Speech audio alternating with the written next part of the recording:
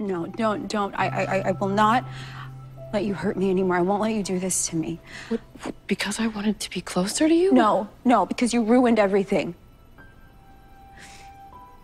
Because we had something so special. And you broke my heart into a million pieces.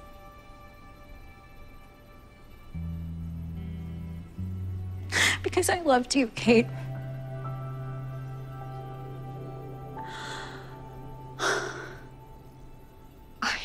Don't. Don't say anything else, please.